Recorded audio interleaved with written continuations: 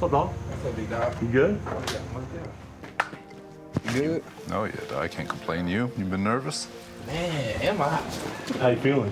Feeling pretty good. Yeah. know? It's uh, How you think the preseason went? uh, it went pretty good, you know. Yeah. Well, look, man. You know the odds are stacked against you from the from the jump, man. You did a lot of good things this camp. Man. Yes, we sir. appreciate your hard work. Just want to let you know, man. You're a New York Jet. Why you scared me? Welcome to the team, brother. hey, I appreciate it, man. I had a long 20 minute drive back, man. I know. I know.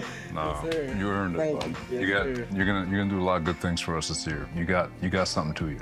The way you approach a game with your intent, your mindset, and all that stuff. Like, there's no doubt in our mind that you're gonna maximize who you are. Yes, sir. Uh, you're definitely one of us.